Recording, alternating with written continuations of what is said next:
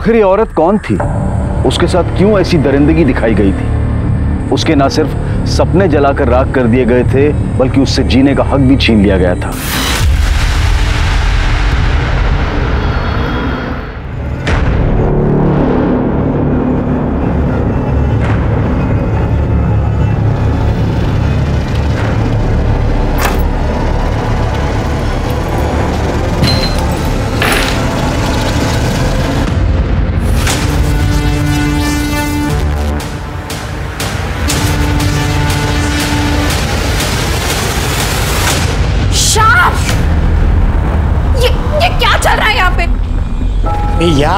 हमेशा गलत टाइम पर टपकती है। थोड़ी देर बाद नहीं आ सकती थी। ये मेरा घर है। पति हो तुम मेरे। तुम्हें शर्म नहीं आई किसी और औरत के साथ? ये कोई और औरत नहीं है। मेरा नाम है इसका। प्यार करता हूँ मैं इससे। समझी? और तुम्हारी भलाई चाहती हो तो निकलो यहाँ से। मैं नहीं जाऊँगी। पत्नी हूँ मैं तुम्हारी। अगर यहाँ से कोई जाएगी तो ये जाएगी। खबरदार मेरे पति पे दोबारा। जितनी बार निकालोगी उतनी बार मैं उसे घर ले आऊँगा। अगर जाना है तो तुम जाओ। डिवोर्स पेपर दिए साइन करो और निकलो। मीरा? मीरा?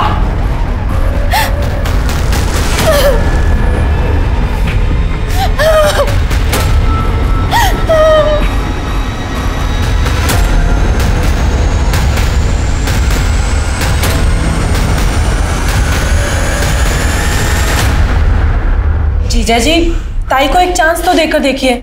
आप जानते हैं ताई आपसे कितना प्यार करती है कितनी चिंता करती है आपकी। मैंने कभी बोला है तुम्हें? तुम्हें अपने मैरिड लाइफ में क्या करना चाहिए क्या नहीं करना चाहिए? क्यों ज्ञान दे रहे हो मुझे इतना? और इतना ही दुख हो रहा है उसका तो उसे समझा दो। डिवोर्स दे दे। अपना और मेरा जीना हराम कर रही है वो। आरती अरे तुम रुको। मैं देखती हूँ। प्लीज़ अब तुम मत शुरू हो जाना। देखो श्याम भाऊ, मैं समझ रहा हूँ, लेकिन थोड़ा ठंडे दिमाग से सोचो और ऐसा कोई रास्ता निकालो जिससे आरती को कोई तकलीफ़ ना हो। ये मतलब आपको भी तकलीफ़ ना हो। अभी भाऊ दिन रात उसको ऐसे रुलाना कोई सही बात तो नहीं है ना? कुछ महीनों की बात है डिवोर्स हो जाएगा। मैं समझाऊँगा उसे। भरोसा है ना मुझ पर फिर अपने अपने रास्ते। हाँ?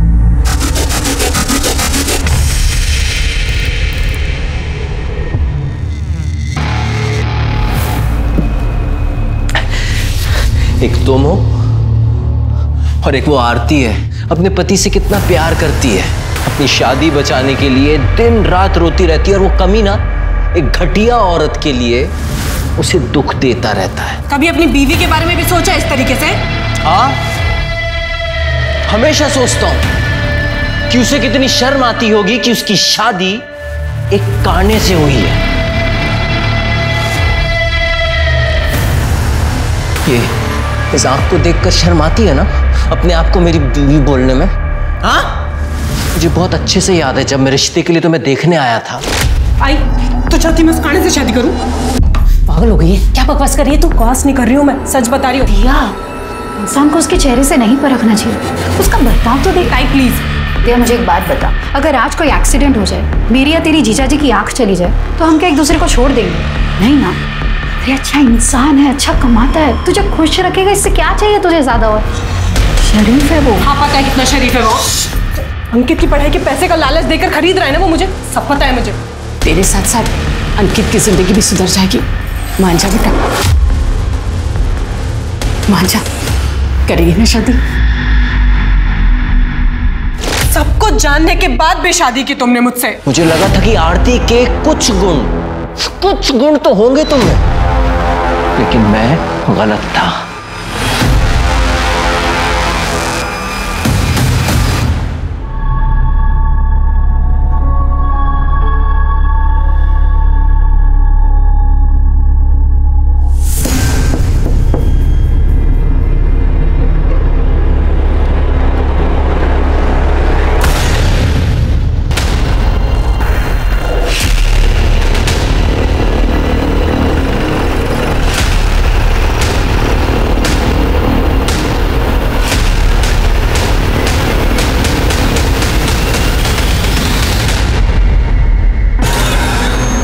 खड़े तो ज़िंदा है। एंबुलेंस को फ़ोन करो। सर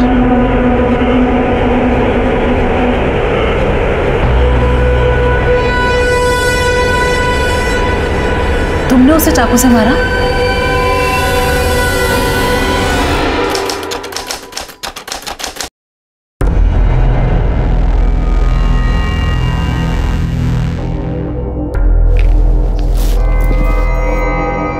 घर कब तक आओगे?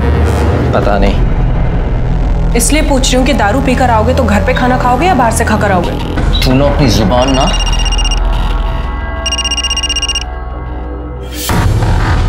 किसका है? ऐसे ही रॉन्ग नंबर है। अब तेरा यार विनय भी रॉन्ग नंबर की लिस्ट में आ गया। तुझे क्या लगता है? मुझे नहीं पता कि तेरा से चक्कर चल रहा है। मुँह मारती फिरती उसके साथ। हाँ चल रहा है चक्कर। तो? तुमसे लाख गुना ज़्यादा अच्छा है विनय।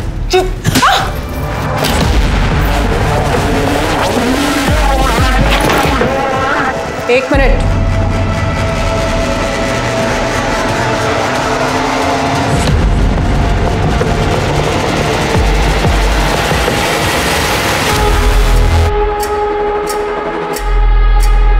ये तो ले जाना ही भूल गई। पहन कर जाओ, वरना लोग डर जाएँगे।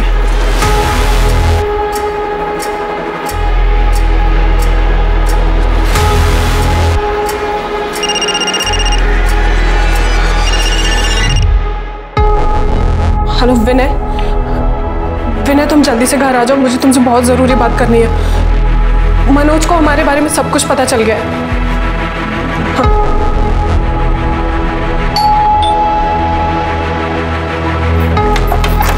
अच्छा विनय, तुम आप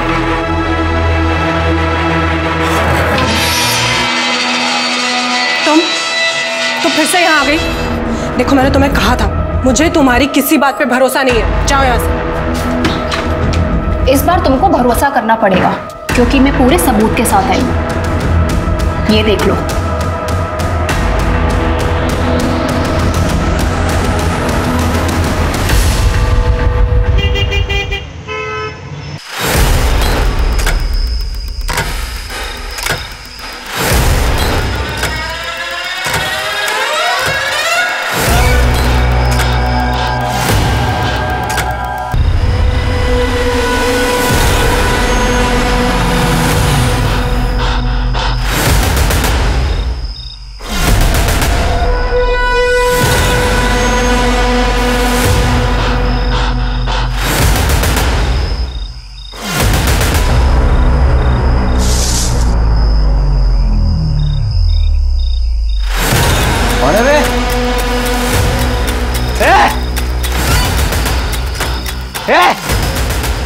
मुझे पता है तू चले वो और दिया का यार मैंने है ना।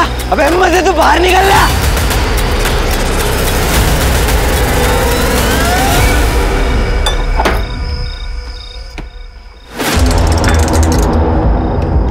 दिया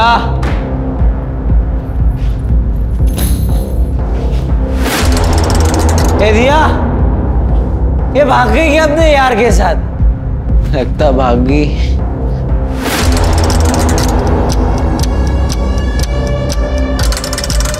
ये जलने की घर को आग लगा गई क्या मेरे?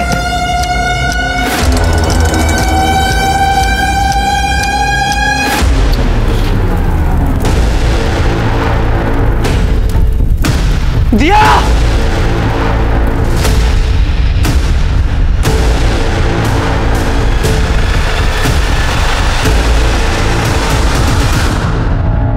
पेट्रोल की बदबू अभी तक आ रही है सर। बॉडी भी बहुत बुरी तरह से जल चुकी है चेहरा भी साफ़ नहीं दिख रहा। है आइडेंटिफाई करना काफ़ी मुश्किल है। खड़े। चेक करो जरा। क्या हुआ था? सर सर जब मैं घर आया तो मैंने इस विंडो से देखा कि ये बॉडी जल रही है सर। सर तब तक चेहरा पूरी तरह नहीं जला था। सर ये मेरी बीवी दिया ही है सर। तुम यकीन के साथ कह सकते हो ये तुम्हारी बीवी दिया है। सर यकीन से तो नहीं कह सकता क्यों क्योंकि उस समय मैंने थोड़ी पी रखी थी सर और, और मेरी एक आँख भी खराब है। पर सर दूसरी आँख से बिल्कुल साफ़ दिखता है। यकीन से नहीं कह सकता सर। तुम कह रहे थे कि तुम जब आए तब उसका चेहरा आधा जला हुआ था। इसका मतलब तुम्हारे आने से कुछ देर पहले उसको जलाया गया। तुमने किसी की आवाज़ सुनी या किसी को जाते हुए देखा? हाँ हाँ सर। हाँ सर एक आवाज़ सुनी थी सर। सर पर उस समय पर लगा कि ऐसी कोई आवाज़ होगी। लेकिन सर अभी मुझे पक्का यकीन है सर कि वही था जिसने जिसने दिया को मार के जला दिया है सर। वही था sir. Shirke sir. Forensic team को बुला। घर के आसपास के एविडेंस कलेक्ट करो और बॉडी को पोस्टमार्टम के लिए भेज दो। और ये दिया और मनोज इनके फैमिली के डिटेल्स निकालो। ठीक है सर।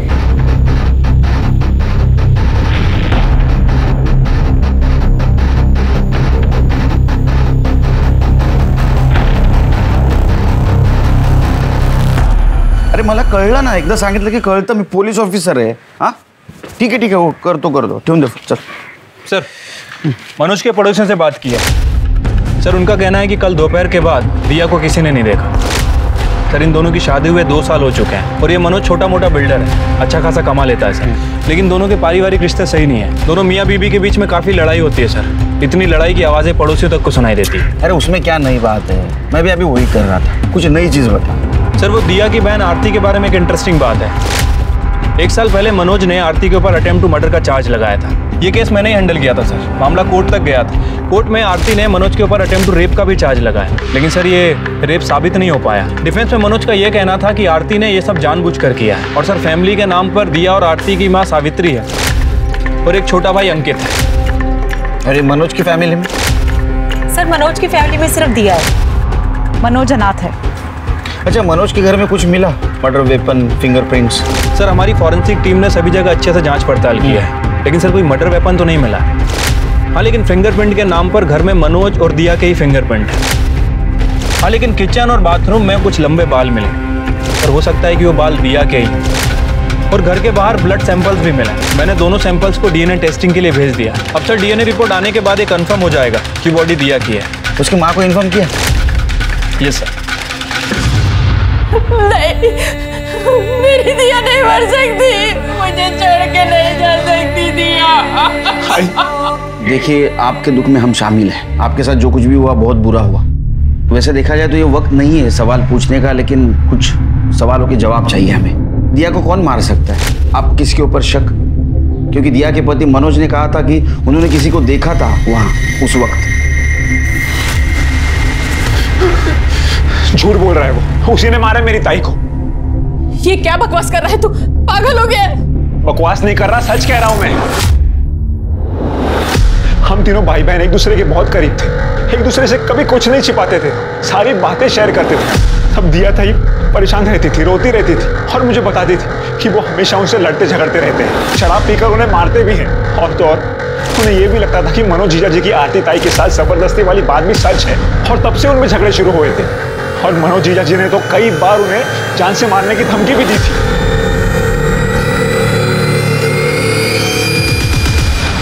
सर मैंने दिया को नहीं मारा सर प्लीज़ मेरी बात का यकीन कीजिए धमकी दी थी ना? सर धमकी दी थी लेकिन उस समय मैं गुस्से में था सर। तो इस मर्डर में प्राइम सस्पेक्ट है। तू दिया को मार सकता है इसकी तीन वजह? एक तू उसका पति है। नंबर दो तुम दोनों के बहुत झगड़े होते थे। और नंबर तीन और तूने बताया था ना कि जब दिया की बॉडी जल रही थी तब वहाँ तू गया था। तो इसकी गवाही देने वाला कोई गवाह नहीं। सर मैं कसम खा के कह रहा हूँ मैंने ऐसा कुछ नहीं किया। मैं तो खुद परेशान था सर इस शादी से। पूरी फैमिली ने मिलकर धोखा दिया था मुझे। और सर दिया मुझसे कोई प्यार व्यार नहीं करती थी। पैसों के लिए शादी की थी उसने मुझसे। शादी से पहले उसका किसी विनय नाम के आदमी के साथ अफेयर चल रहा था। और अभी तीन चार महीने पहले वापस से उसका उससे अफेयर शुरू हो गया था। तेरे को कैसे पता? सर कल जब मैं ऑफ़िस जा रहा था तो विनय का फ़ोन आया। मैंने दिया को पूछा तो उसने मुझे खुद बताया कि हाँ चल रहा है चक्कर। तो? तुमसे लाख गुना ज़्यादा अच्छा है विनय। ये चौथी वजह। समझा तू क्या बोल रहा है? तेरी ये गवाही तेरे खिलाफ जा रही है और इसी वजह से तूने दिया का मर्डर किया। सर मैं आपको सच बता रहा हूँ। चले जा मैं सच बोल रहा हूँ सर। मैं मैं सच बोल रहा हूँ सर। मैंने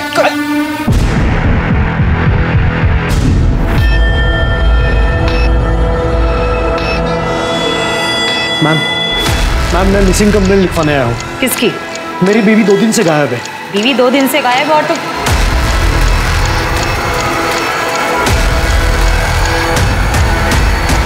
श्याम देशपांडे।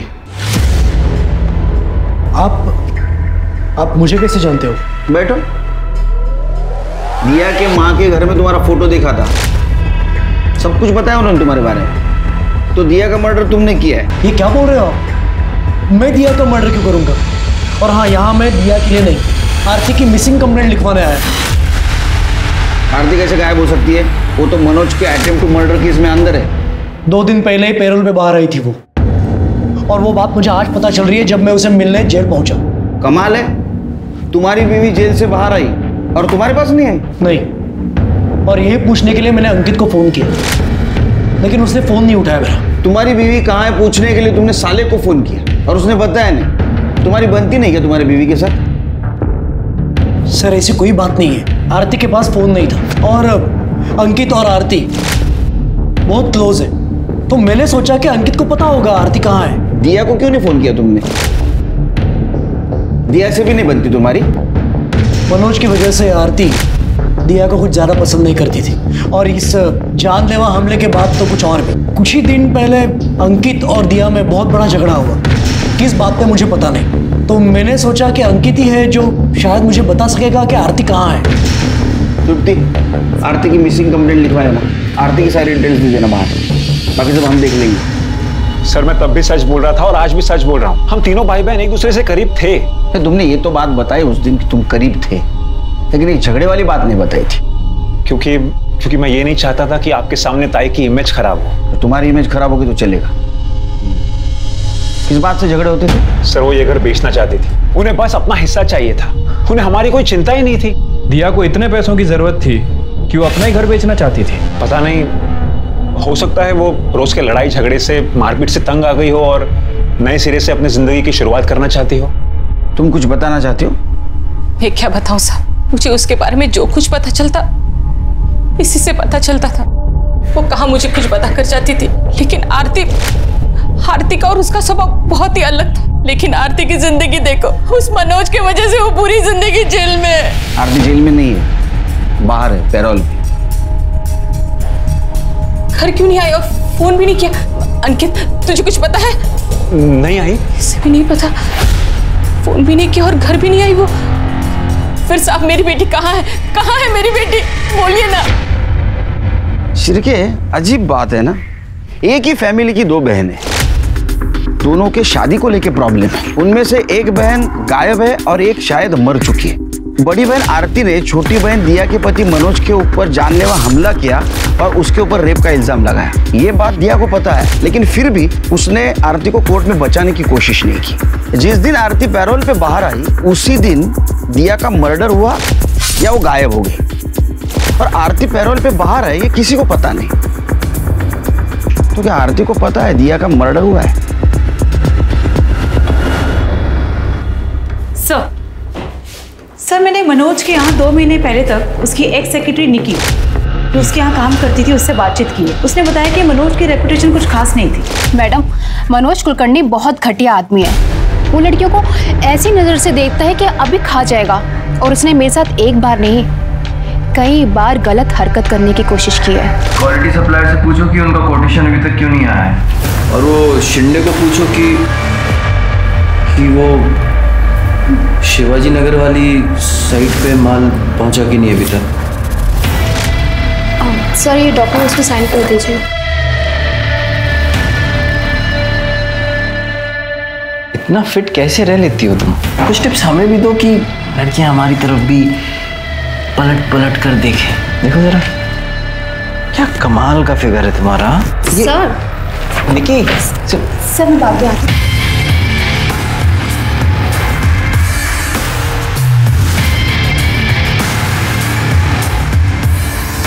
जब उसने पहली बार मेरे साथ घटिया हरकत की तो मैं शौक थी कि मैं क्या करूँ।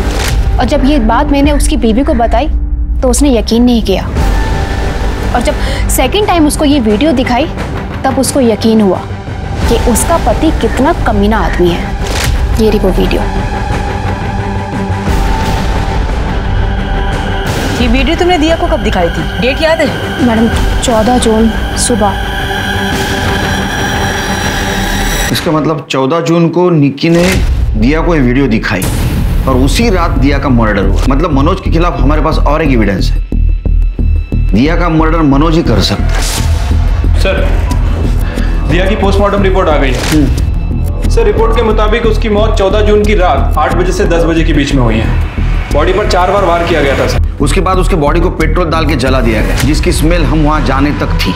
राइट सर फॉरेंसिक रिपोर्ट भी आ गई सर रिपोर्ट के मुताबिक घर के किचन और बाथरूम में जो बाल मिले थे, उसका डीएनए बॉडी से केवल 50 परसेंट ही मैच करता। है और सर, घर में जो दिया की मेडिकल रिपोर्ट मिली थी, उसका ब्लड ग्रुप घर के बाहर जो ब्लड मिला था, उससे मैच नहीं करता। है उल्टा सर, जो आरती की मेडिकल रिपोर्ट हमने जेल से मंगाई थी, उसका ब्लड ग्रुप घर के बाहर जो ब्लड मिला था, उससे मैच करता है।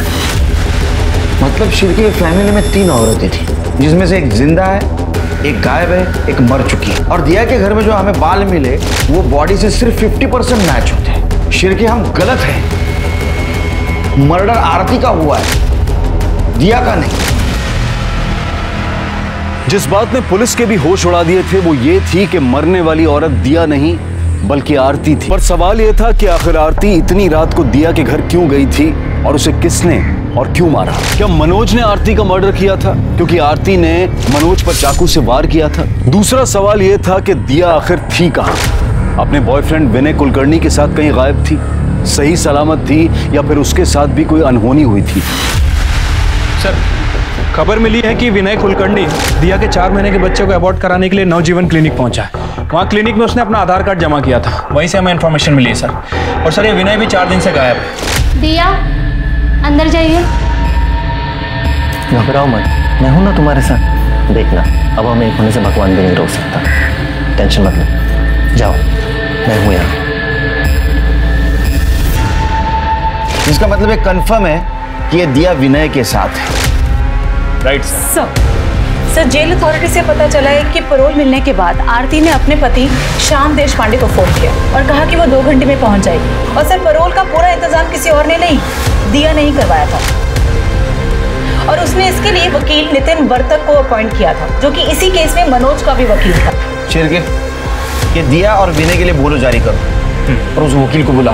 उस शाम को बहुत फ़िक्र थी ना आरती की।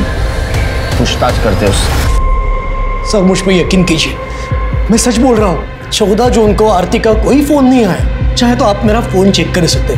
मैं तो ऐसे सब में से बाहर नहीं आ पाया कि आरती का मर्डर हो चुका है। वो मर चुकी है। लैंडलाइन पे गया होगा।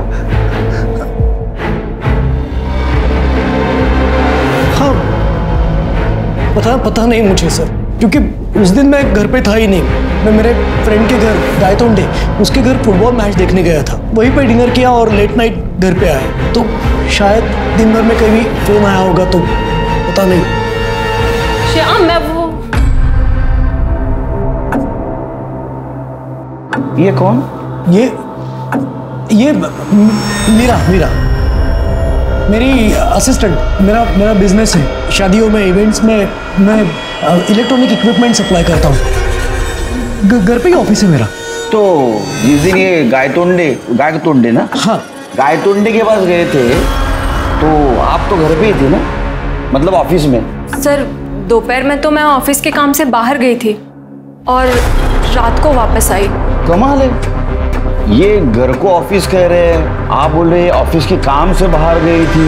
वैसे ऑफ़िस आवर्स क्या है? नहीं मतलब दोपहर में आप ऑफ़िस के काम से बाहर गई वापस रात में आई ओवर टाइम कर रही थी या नाइट शिफ्ट सर वो छिड़के तुम्हारा एड्रेस देना घर का। और आप ऑफ़िस के काम से जा गई थी ना वहाँ का भी एड्रेस देना।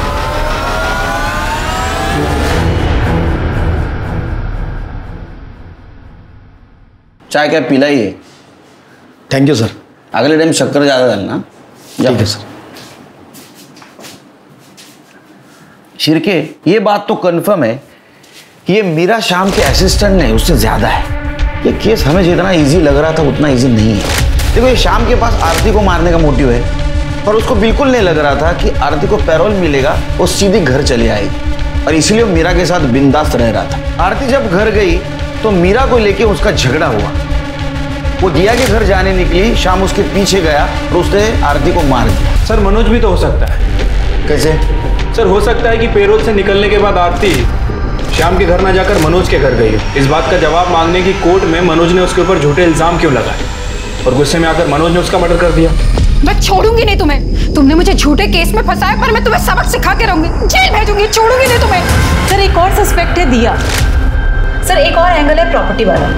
इसे पैसे तो चाहिए थे। तो एक वारिस कम होने की वजह से उसे पैसे का शेयर ज़्यादा मिलता। इसलिए जब आरती उसके पास पहुँची तो उसने आरती को मार दिया। ये मीरा शाम की सो कॉल्ड असिस्टेंट इसके पास भी मोटिव है। उसे लगा होगा कि जब आरती घर वापस आ जाएगी तो शाम मीरा को घर से बाहर निकाल देगा। और इसी वजह से उसने आरती को मारा।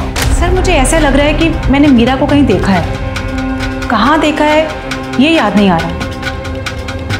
सर एक्सक्यूज मी दिया का कुछ पता चला? नहीं सर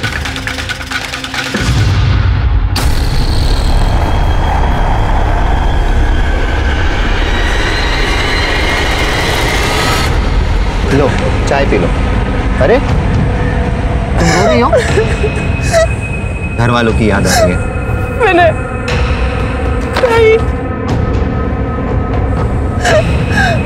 मैंने सोचा था ताई को जेल से आज़ाद करवाऊँगी। उस मनोज को उसके किए की सजा दिलवाऊँगी।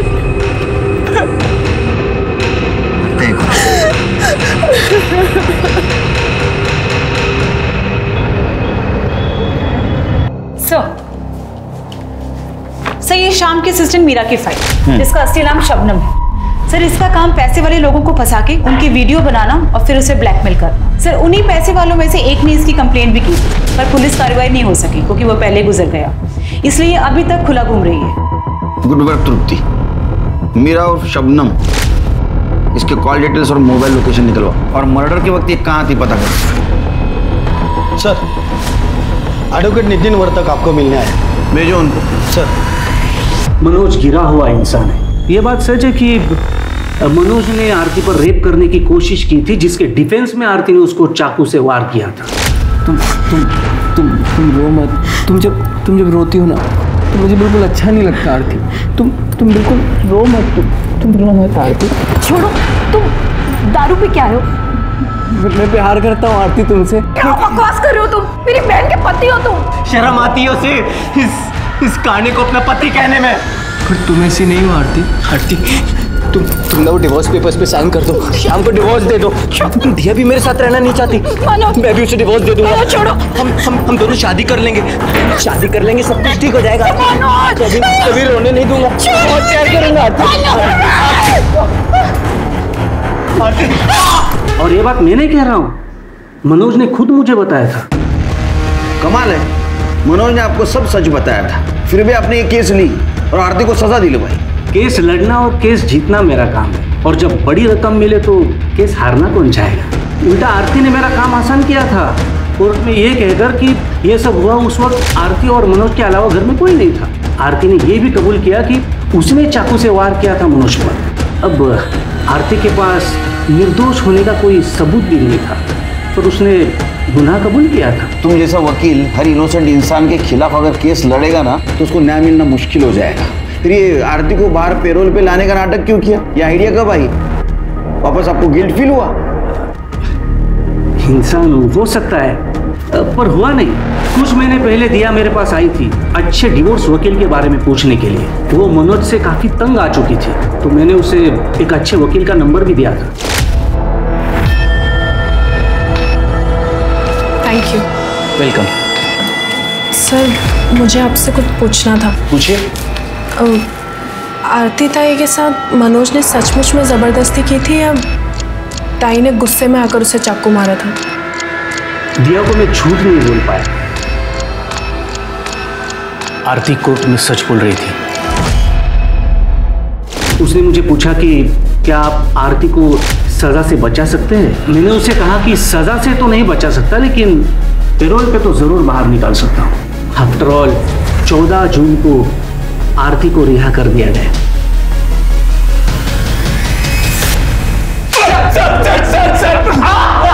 अरे आवाज़ बंद कर। बोलना है तो सच बोल। झूठ बोलेगा ना तो बोलने के लायक नहीं रखूँगा तेरे को। तूने आरती को मारा ना बाद में जला दिया। और हमको गुमराह करने की कोशिश की कि तूने दिया को जलते हुए देखा। तेरे को पता था दिया विनय के साथ भाग के गई है। सर ऐसा कुछ भी नहीं हुआ था। मैंने आरती को नहीं मारा मैं तो प्यार करता था सर आरती से सर। क्या करता था? तूने पहले उसका रेप किया बाद में उसको झूठे इल्ज़ाम में अंदर करवा दिया।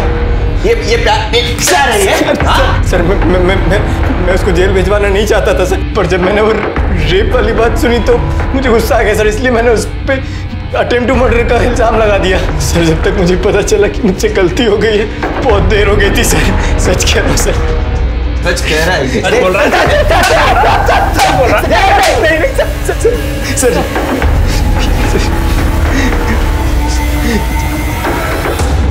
सर ये मीरा की मोबाइल लोकेशन है सर इसके मुताबिक उसने दिया के घर तक आरती का पीछा किया और सर शाम की गाय तोंडी वाली स्टोरी को भी क्रॉस चेक किया। सर शाम झूठ बोल रहे है। उस दिन शाम पाँच बजे वो घर पे ही था। उसने पार्सल रिसीव किया और साइन भी किया।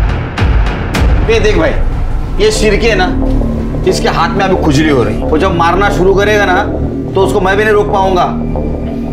चिरके बग बाबाला नहीं नहीं नहीं नहीं बता रहा हूँ बता रहा हूँ मैं। अरे बोला पेरोल पे आरती छूटने के बाद सीधा घर पे आई थी।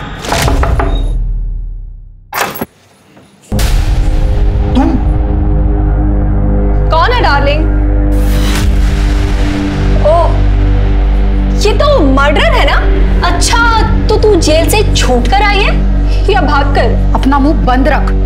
मैं शाम से मिलने आई हूँ। ये तेरा घर नहीं ये मेरा घर है। और अब शाम से तेरा कोई वास्ता नहीं है। समझी? इसलिए इज़्ज़त से चली जाओ वरना धक्के मार के निकाल। अपनी औकात में रहे। हमारा डिवोर्स नहीं हुआ अब तक। और जब तक हमारा डिवोर्स नहीं होता ये मेरे पति और ये मेरा घर। बस करो अभी। निकलो यहाँ से। जाओ अपने बहन के घर पे जाओ। मेरा जीना आराम मत करो। वही तो नहीं किया मैंने अब तक। पर अब करूँगी। सिर्फ़ तुम्हारा नहीं इसका भी। छोड़ूँगी नहीं मैं तुम दोनों को। ये ऐसे चुप नहीं बैठेगी। अब इसे चुप बिठाना पड़ेगा। और इसका खेल तो मैं खत्म करूँगी। क्या कर रही है तू मीरा? मीरा? मीरा? मतलब मीरा ने आरती को मारा और उसको जला दिया। पता नहीं। क्योंकि जब वो वापस आई तब तब उसने मुझे कहा कि वो आरती को नहीं मार पाई। रास्ते में कहीं गुम हो गई आरती। मैंने सोचा कि चलो अच्छा हुआ। इसलिए मैं आरती की मिसिंग कंप्लेंट लिखवाने आया। झूठी मिसिंग कंप्लेंट ताकि अगर कुछ हुआ तो मैं बच जाऊँ। लेकिन जब मुझे पता चला कि दिया का नहीं, आरती का मर्डर हुआ है, तब मुझे ऐसे लगा कि मीरा मुझसे कहीं झूठ बोल रही जिस दिन आप मेरे घर पे मुझसे और मीरा से सवाल करने आए थे, उसी दिन से मीरा अपने सामान के साथ गायब है। तूने और मीरा ने दोनों ने मिलकर आरती को मारा और उसको जलाया। नहीं सर। नहीं सर। सर कौन जा सर नहीं किया सर, सर ऐसे कुछ नहीं किया सर। सर खड़े बोल तो? सर नहीं। सिरके मीरा को जल्द से जल्द ढूंढो नहीं तो केस हमारे हाथ से निकल जाएगा। अपने सारे खबरों को अलर्ट कर दो। ठीक है सर।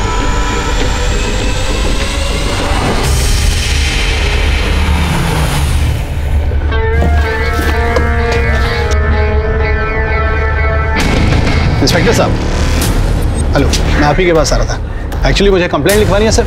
मेरे घर में दो बार चोरी हो गई। अच्छा खासा कैश गायब हो गया। प्लीज़ हेल्प कीजिए सर। आपका नाम? जी मेरा नाम हरेश लालवानी है बिल्डर।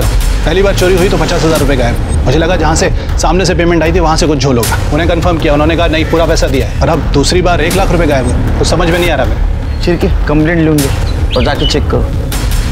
कंप्लेंट लिखवा दो।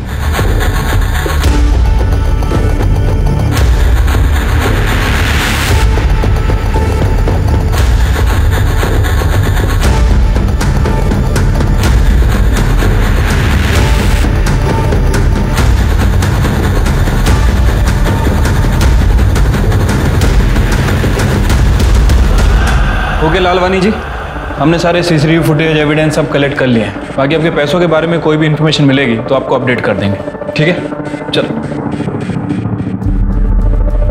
ये जो लड़का अभी यहाँ से गया ये आपका कौन लगता है? और आपकी बेटी के साथ क्या कर रहा है? ये मेरी बेटी का मंगेतर है। क्यों क्या हुआ? नहीं कुछ नहीं। वो इन्वेस्टिगेशन के लिए पूछताछ करना पड़ता है। चलो। अब ये तो साबित हो चुका है कि जो मर्डर हुआ और जो बॉडी जलाई गई वो आरती थी तुम नहीं। आरती को चार बार चाकू से मारा गया था। सर इसे पता था कि आरती पैरोल पर छूटने वाली है। ये उससे मिलकर ही निकलना चाहती थी पर मनोज को हमारे बारे में पता चल गया तो मैंने ही इससे कहा कि अभी चलते हैं बाद में मिल लेंगे। सर मैं उस दिन मनोज की वजह से ताई से नहीं मिल पाई। और अब कभी मिल भी नहीं पाऊँगी। मैंने मुझे जेल से आज़ाद करवाना चाहती थी मुझे नहीं पता था ये आज़ादी कि जान ले लेगी। तुम्हें नई ज़िंदगी शुरू करनी थी। तुम्हारे पास पैसे नहीं थे। नहीं थे ना?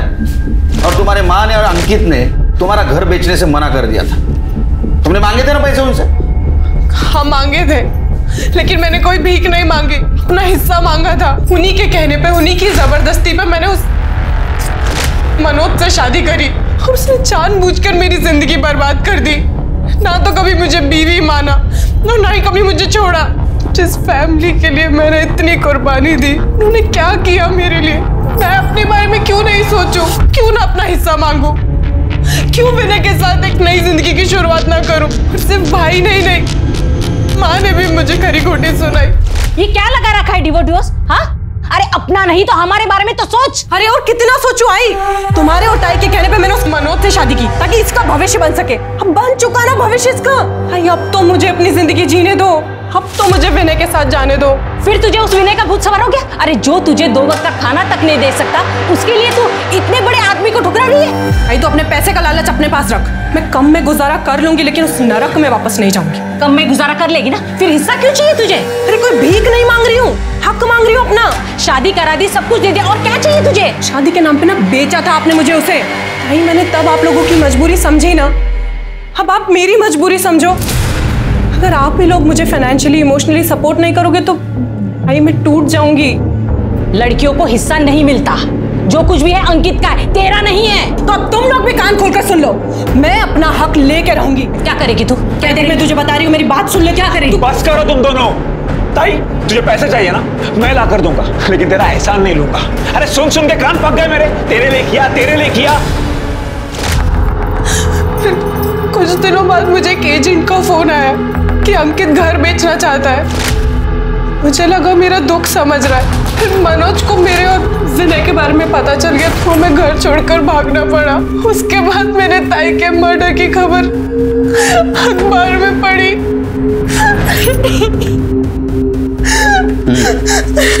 ठीक है जा सकते हो तुम लोग। लेकिन जब तक केस चालू है शहर छोड़ के बाहर नहीं जाना। बुलाऊँगा आना पड़ेगा।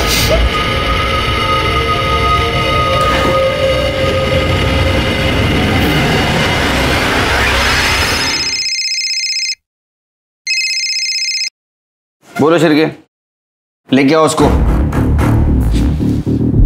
तृप्ति सर। एक नया एंगल सामने आया है। शायद पुराना है। लालवानी के घर से शिरके को कुछ इंटरेस्टिंग हाथ लगा। है सर आप आप कहना क्या चाहते हो? मैंने खुद के घर में चोरी की। बिल्कुल सही अंदाज निकला आपका। हमने आपके घर के सीसीटीवी फुटेज चेक किया। ऐसा पता चला कि आपके घर में सिर्फ़ आप और आपके पापा के अलावा कोई नहीं। तो पापा अपने खुद के पैसे की चोरी क्यों करेंगे? कुछ लॉजिक नहीं ना बनता? तो कौन कर सकता है? हाँ। वो सर हाँ बोलो बोलो सच बोलो। वो चोरी मैंने की है सर। पर सर खुद के लिए नहीं अंकित की हेल्प करने के लिए की थी। क्यों? सर वो अंकित को कोई किसी वीडियो के लिए ब्लैकमेल कर रहा है। कौन सा वीडियो सर मुझे नहीं पता कौन सा वीडियो अंकित ना बहुत रोता था बहुत परेशान था। तो बस सिर्फ़ उसको हेल्प करने के लिए मैंने पापा के पैसों में से पहले पचास हज़ार और बाद में एक लाख रुपए निकाल के दे दिए। हरेश लालवानी के घर में चोरी करने वाला चोर पकड़ा गया, जो कि खुद उसकी अपनी बेटी कंचन थी, जो अपने मंगेतर अंकित को ब्लैकमेलिंग से बचाने के लिए अपने ही घर में चोरी कर रही थी। सवाल यह था कि क्या वाकई कोई अंकित को ब्लैकमेल कर रहा था? और अगर हाँ तो क्यों और किस लिए? अंकित और उसके ब्लैकमेलर का सच जानने के लिए पुलिस ने एक चाल चली, जिसमें हरेश लालवानी ने भी उनका साथ दिया। लालवानी के घर में मौजूद तमाम कैश को मार्क किया गया और उसे पाउडर लगाया गया। और कंचन को भी इस बात की हिदायत दी गई कि वो इसकी खबर अंकित को ना लगने दे। फिर जैसे ही अंकित ने कंचन से और पैसे मांगे, कंचन ने फिर से पैसे चुराकर अंकित को दिए और अंकित ने हर बार की तरह यही कहा कि उसे ये पैसे ब्लैकमेलर को देने हैं। आखिरी बार।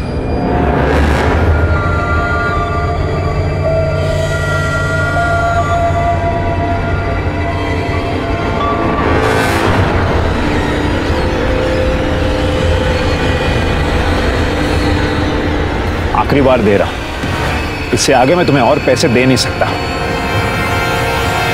पैसे तो तुझे देने पड़ेंगे। मैं जब जब मांगूँगी तब तब देने पड़ेंगे। इसलिए आगे के लिए सोच के रखना। इससे आगे तू मांग ही नहीं पाएगी क्योंकि उससे पहले ही मैं तेरा खेल खत्म कर दूँगा।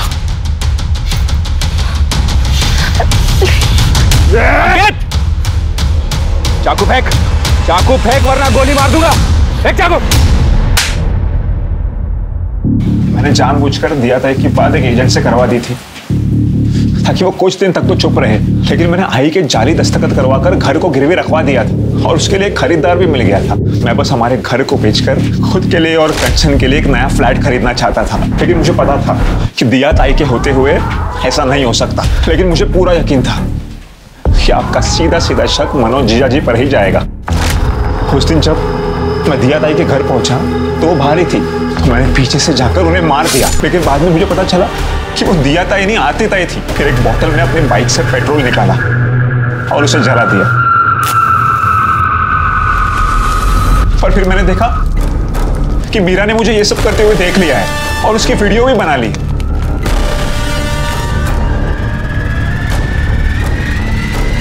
कौन है?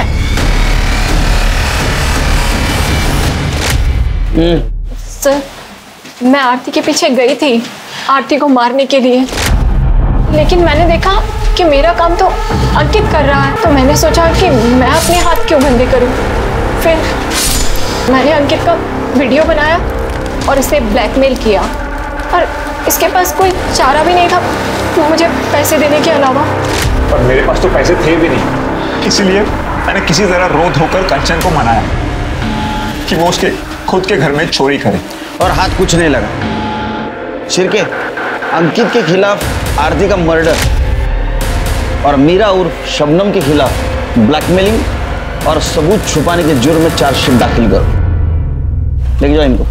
जिस चाकू से अंकित ने आरती का मर्डर किया था, पुलिस ने उसे फोरेंसिक डिपार्टमेंट के पास भेज दिया। रिपोर्ट में चाकू पर आरती का खून और अंकित की उंगलियों के निशान पाए गए, जिससे यह साबित हुआ कि आखिर अंकित ने ही अपनी सगी बहन आरती का मर्डर किया था। ये केस हमें सिखाता है कि गलत तरीकों से अपने सपनों को पूरा करने का तरीका कभी भी सही नहीं हो सकता है। ये चालाकियाँ, ये पैतरे सिर्फ़ और सिर्फ़ आपको जेल की ओर ले जाते हैं। अब मैं अनूप सोनी आपसे विदा लेता हूँ। फिर मुलाकात होगी क्राइम पेट्रोल सतर्क में एक और नए केस के साथ। तब तक अपना और अपने परिवार का ख्याल रखें, सतर्क रहें, सुरक्षित रहें और देखते रहें क्राइम पेट्रोल सतर्क। जय हिंद।